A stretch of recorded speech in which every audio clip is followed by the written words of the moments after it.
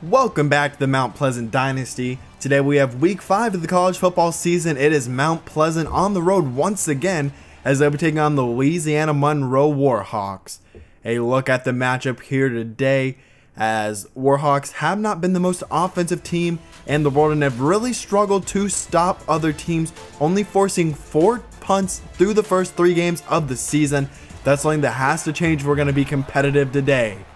On the first play, it is a quick screen to the outside for Allen Harrison, who is 8th nationally in receptions. Now it's Elton Huff up the middle. He's got 7 yards, as that's a quick first down. Under center, it's a twin tight end set. It's Jonathan Gibbs who will throw it, and it is Dorian Mays in the flat for 5 yards. Now third down and 5, an empty set with Ricky Barrett, and he gets the catch and is brought down inside of Warhawk territory a 15 yard gain. Second down and five up the middle, it's Elton Huff and a shoestring tackle. It's an eight yard gain nonetheless. Now it's Danny Whitmore, the backup running back. He goes straight up the middle. He's got a lot of room to run. He's got 14 yards. After a false start, it's first down and 15. Jonathan Gibbs drops back, dumps it down across the middle for Gerard Buchanan as he is getting his first career start today. I didn't really like what I saw out of Kenton Watkins through the first couple of games, so he is getting his first start along with Damian Ransom getting a lot more playing time. There's Ricky Barrett on a catch. Now we go with a tight set to the corner of the end zone. And Gerard Buchanan, a seven yard touchdown and a four minute drive. We'll get a second look at this catch. Drug his toe and barely got a foot in. And then it's now a 7 0 lead.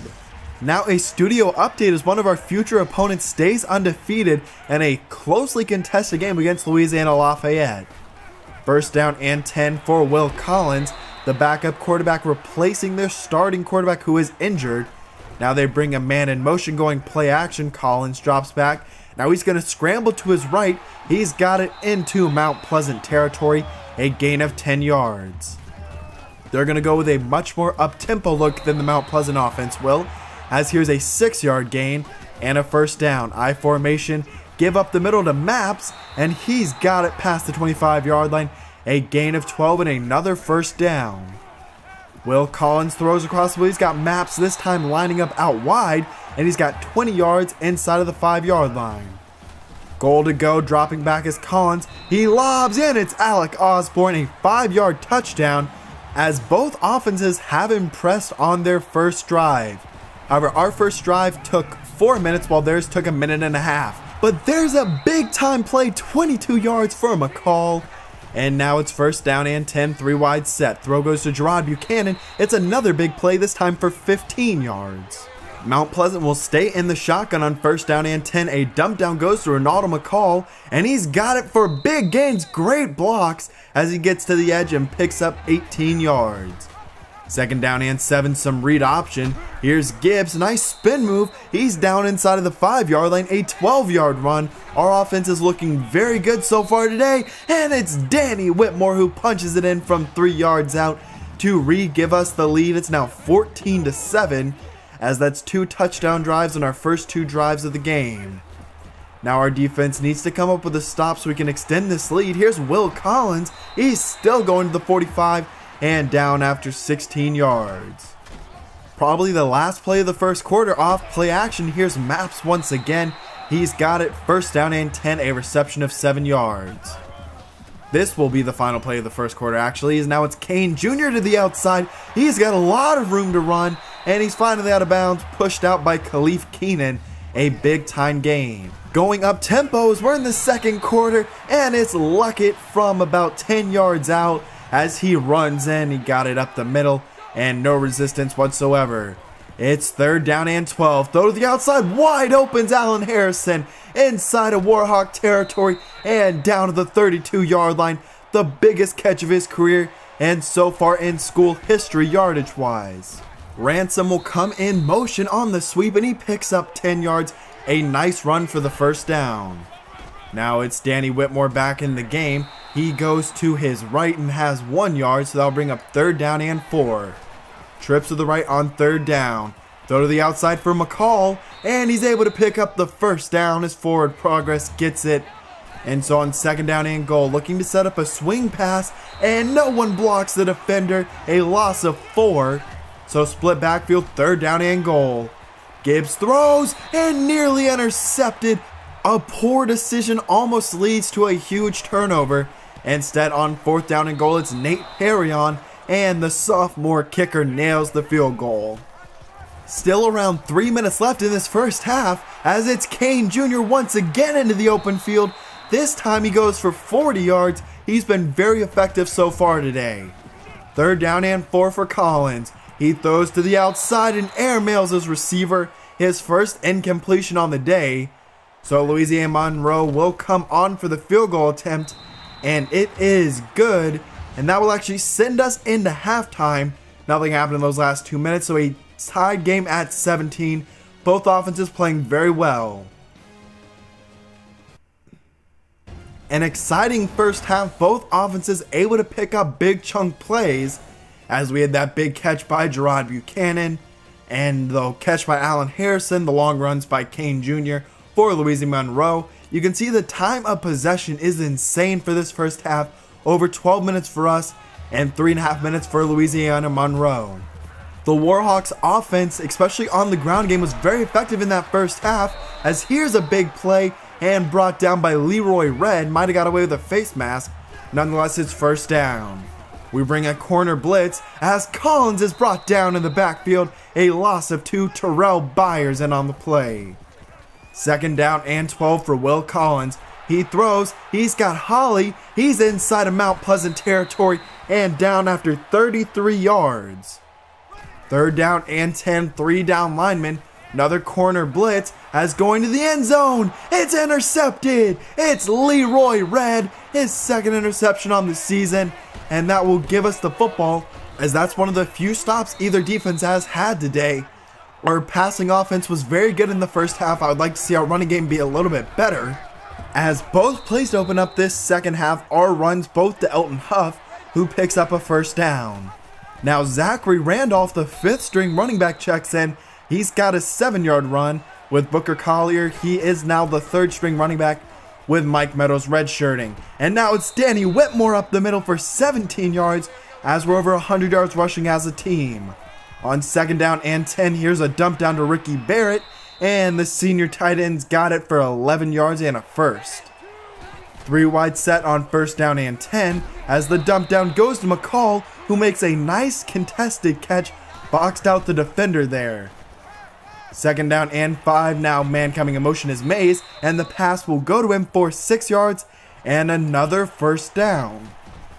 Our offense has been very efficient on this drive. A lot of short passes or short plays that just add up. As here's a big one for 16 yards. On second down and goal, it's Huff up the middle and is stopped just shy of the goal line. Third down and goal upcoming. From the I formation We'll pitch it to the outside for Huff. He's got it. A one yard touchdown and it regains the lead for Mount Pleasant. As both sides of the football playing very well for the Demons in this second half. Now it's Will Collins. He pitches it to Kane Jr. and no one's out there. He has all the room to run. 30, 20, 10, 5, touchdown, 75 yards for Kane Jr. A perfectly ran triple option as we're tied back up at 24. This is a drive in which our offense needs to answer. Here's a good first play on the read option. It's Jonathan Gibbs going for 7 yards. Gibbs will go under center on second down, twin tight end look. Here's Ricky Barrett. He's got it to the 50 yard line. A big time catch.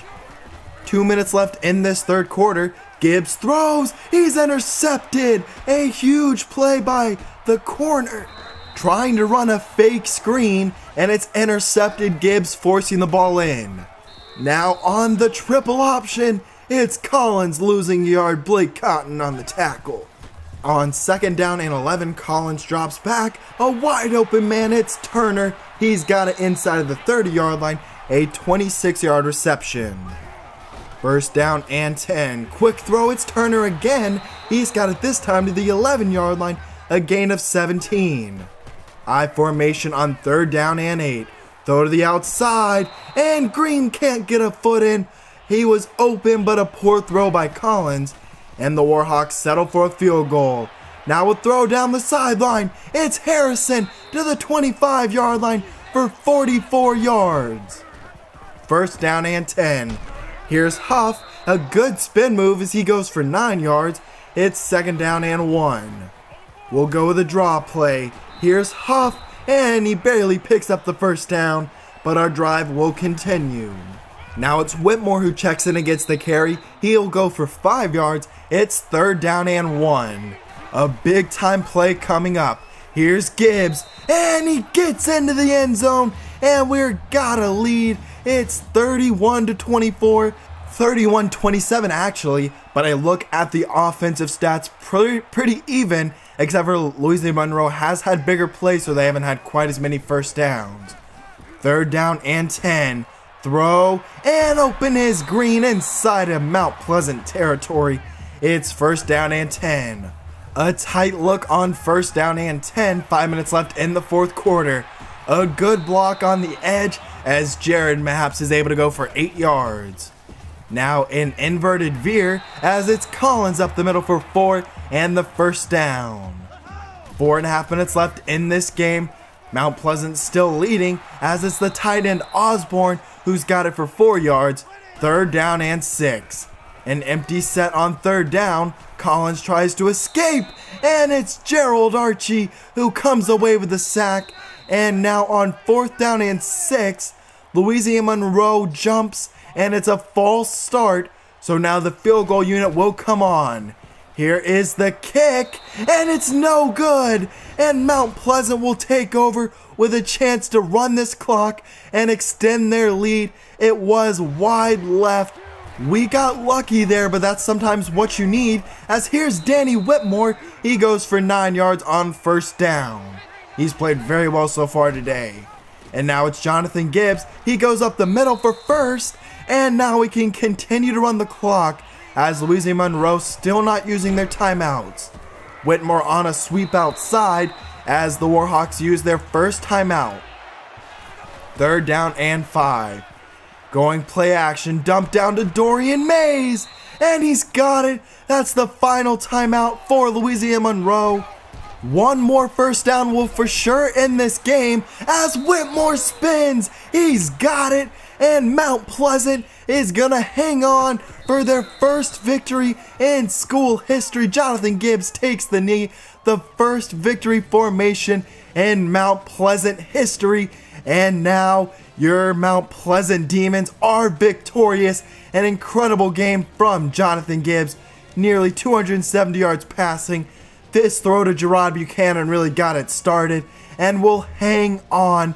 What a victory. A big time performance from this team as they do pick up their first victory. Elton Huff and Danny Whitmore combined for 141 rushing yards, Jonathan Gibbs ran the ball well on a couple of read options. We were able to get negative plays today, which was great to see Cliff Cole with the sack. And Leroy Red came up with that huge interception in the end zone. And we were victorious, dominating the time of possession, playing well in that fourth quarter, and played well enough to get the first win. So we'll move forward into week six, where we'll be taking on the Virginia Cavaliers, as we'll be taking on another Power 5 opponent from the ACC. Our first matchup did not go very well, but hopefully we can ride the momentum of this week into week six against Virginia. With that win, we got an upgrade. We're going to be going with the closer as we're nearing uh, week eight in the season already. But now we'll look at some recruiting. We get our first win, and along with that comes our first commitment as a school. It's a fullback, Steve Lewis. He's a great athlete for a fullback could be a little bit of a hybrid of a fullback and a running back. Can block pretty well, but we do miss out on one of my favorite players on our board, Eric Green. I feel like he could have been a great quarterback for us. Instead, he will stay home and go to Cincinnati. Now, a look at what remains of our top 8 as we have some nice competition in a few of those battles. You see the updated top 10 in week 6 after the game against Virginia. A look at the Heisman, Chad Kelly in first place for Ole Miss. He's having a great season. Now I look at the season stats for Mount Pleasant, 200 yards now for Elton Huff on the season, 200 and nearly 50 yards for Allen Harrison on 23 catches.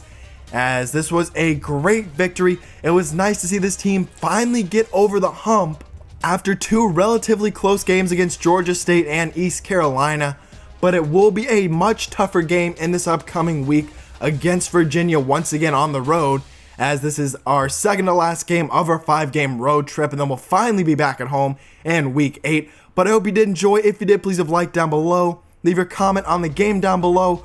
It was so exciting to see this team finally win a game. And let me know who impressed you the most. What do you think of our recruiting in class and how it's coming along? But thank you for watching today's episode. I will see you in week six in Charlottesville for probably, hopefully, another exciting game. Cause I'm out.